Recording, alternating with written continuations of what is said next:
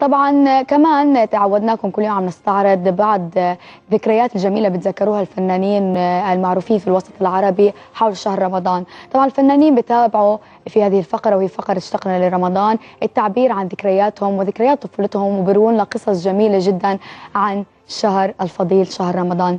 اليوم لقائنا حيجمعنا بالفنان فراس إبراهيم واللي خبرنا أكثر عن طفولته برمضان. خلينا نتابع التفاصيل.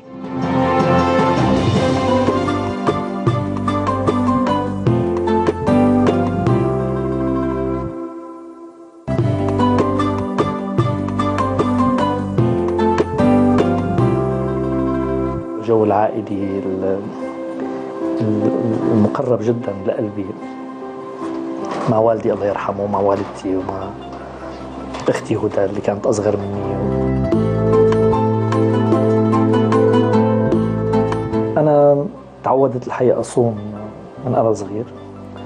يعني كنت تعذب شوي أهرب شوي هيك بشربة مي بأكل لي لقمة وكانوا يبرروا لي إياها. لا الحقيقة لا. يعني أنا مثل ما كانوا معوديني أهلي على إني أنا أعيش هي الأجواء. أيضا أنا عودت عائلتي. برمضان بسترخي حقيقة. وبنام. مو بنام مشان يروح الصيام. لا بنام لأني أنا محتاج النوم الحقيقة.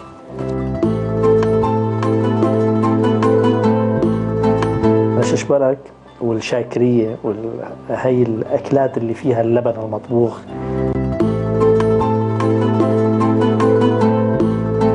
الشيء اللي معلم عندي نهاية رجل شجاع مثلا اللي عمله أستاذ نجدة أنزور بطولة أيمن زيدان مجموعة.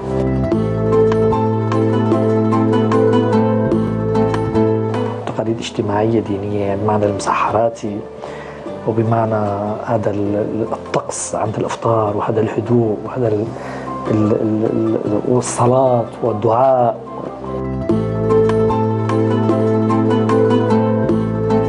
السنة آه تمرمرت بمحمود درويش بمسلسل في حضرة الغياب تمرمرت.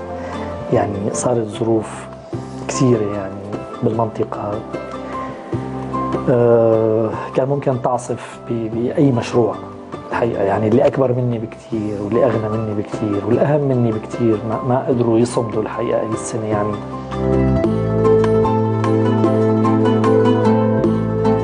يا عم السلام جوات كل أم فقدت فقدت ابن أو أخ أو أب. وكل الأطفال إن شاء الله هيك بيرجعوا بيلاقوا ناس حناين يقدروا يقدروا يعطوهم هي الجرعة اللي فقدوها خلال هي الفترة اشتقنا لرمضان.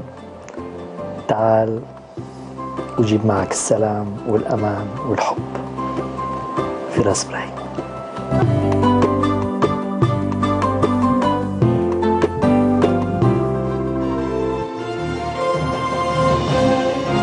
شكرا للفنان فراس إبراهيم ونقول له أيضا رمضان كريم واللي شاركنا بفقره اشتقنا لرمضان لأهم ذكرياته وذكريات الطفولة خلال هذا الشهر الفضيل.